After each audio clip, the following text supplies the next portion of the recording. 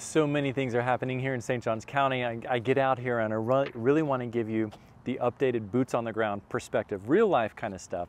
So this is actually the entry gate into Reverie. Now over on the side, that's the builder's model homes, but here's the gate that comes in.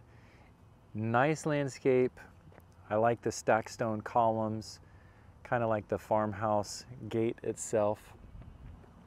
There's this little, little bit of an entrance with the median here to make Reverie stand out from the rest of Trailmark.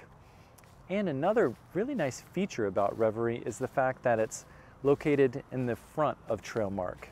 So out of the 2,000 residents, Reverie's going to be on the front end of all of that. So you don't have to deal with any of the traffic or whatever.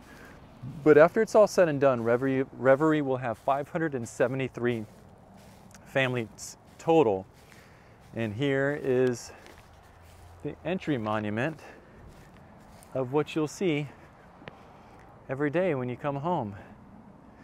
Reverie at Trailmark. This is my Dreamfinders Homes. 55 plus active adult community. I like to say two things. It's like a cruise ship on land, and it's also like college for retirees. It doesn't get any better than this.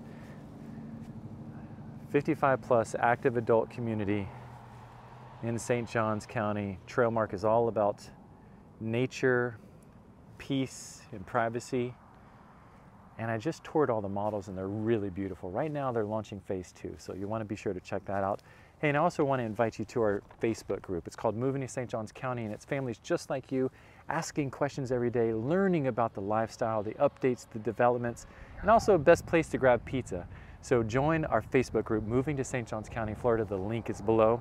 I'll see you in the other video.